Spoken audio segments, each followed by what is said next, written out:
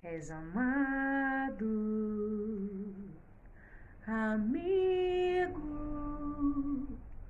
não apenas amado, és querido, és respeitado, és admirado e até por alguns invejado, mas acima de tudo, és um amigo amado.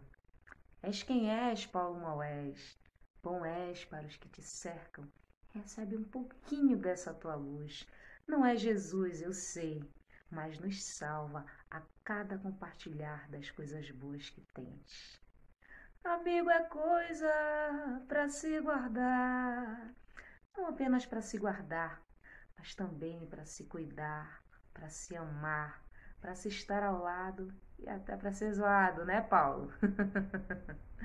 eu quero ter um milhão de amigos, mas para que se eu tenho amigos que valem mais que um milhão? Amigos que, como Paulo, fazem de sua vida uma missão, que em tempos como esse nos resgata a memória com seus poemas, com seus contos e com suas histórias. Por isso, meu amigo, gratidão. Paulo, feliz aniversário, parabéns pelo teu dia. O meu desejo é que a vida te trate sempre de forma benevolente e que os teus dias aqui nessa terra sejam sempre de muito prazer, muita alegria e satisfação. Felicidades.